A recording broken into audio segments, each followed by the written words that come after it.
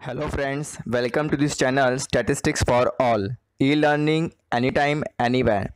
Please like, subscribe and share. Also press bell icon. Thank you. Students T distribution uses. The T test is one of the many tests used for the purpose of hypothesis testing in statistics.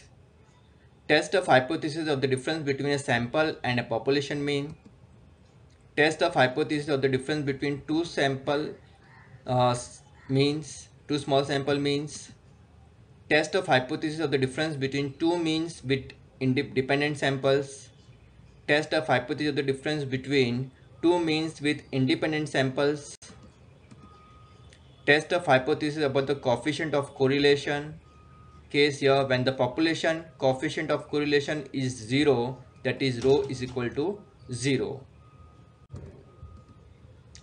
any doubt?